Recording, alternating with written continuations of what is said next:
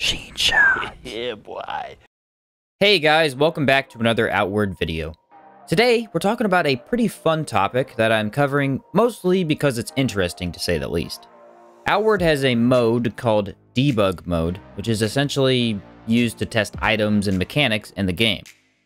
They released it for various reasons, one being that it can help you get unstuck if you fall into a weird rock or something.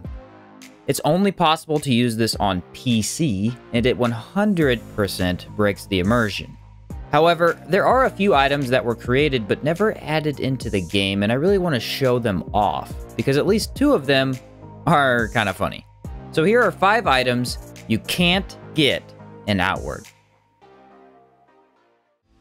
Yes, they, for some reason, created a fidget spinner that functions as a chakram. It's really nothing special in terms of damage or impact, but it does look really goofy.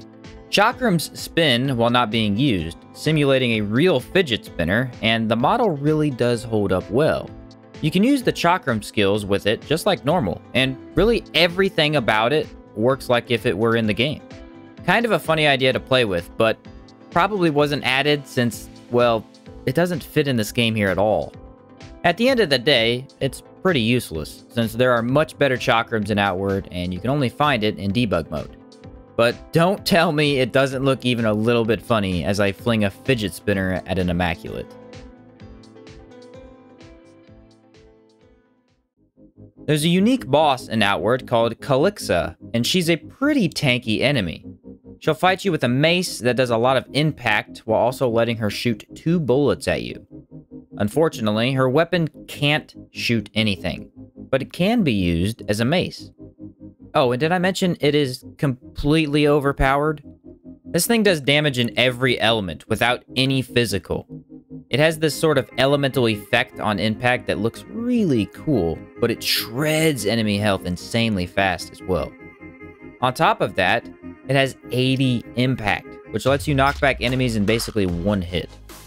It's a very fast weapon, and I walked through the swamp basically hammering enemies without any difficulty. It looks a bit goofy, while also cool at the same time, as it is a longer barreled gun with spikes on the end. The Calixa mace gun is nuts, and it sort of makes sense now how hard she is to take down. There's honestly nothing overpowered about the Ghost Sword, but it's a Ghost Sword, making it pretty cool. This item deals pure ethereal damage, making it great for fighting ghosts. Things like Gep's Blade or the Dreamer Halberd are still better than it, but I had some fun swinging this thing around. Kind of feels like this could have been a neat item to get from a side quest or something. Maybe if you solve a series of puzzles set up by a ghost, you could get his long-lost blade. We already have the Runic Blade, which functions better mechanically, but would have been fun to see another option like this in the game. There's a full set of armor in Outward that lets you look like a ghost, and it's pretty epic. No, it does not have any good stats at all, but you get glowing red eyes instead. Imagine if this stuff allowed you to phase through walls or something. It would really change the way you play Outward and actually give you a reason to carry it with you. Ultimately, it's not an option for us, as it was never implemented, but still pretty neat to think about the possibilities. The test weapon of Doom is the single strongest item ever created in Outward. It deals 10,000 raw damage, making it impossible to protect against. It also has high impact and the fastest attack speed in the game. I kid you not, you can walk around one-hitting almost every single enemy in the game, including some bosses. Some enemies like Calixa take multiple hits, which is actually insane when you think about how much damage you're really hitting her with. It's safe to say this weapon was created to test things, as no one should ever have this much power. I can tell you this definitely went to my head, as I was just executing every single thing that came across my way embarrassing unique arena bosses without any buffs on, and overall, being a real threat to the game itself.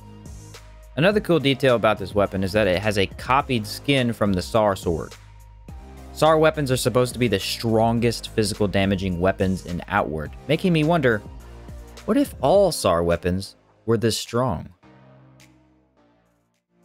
So there you have it, 5 items that you can't get in Outward, and each one is pretty cool. Do not take this video seriously in any way, as you can't use any of these in the game. I just thought it might be fun to show off, and can you really blame me for wanting to one-shot as many enemies as I could?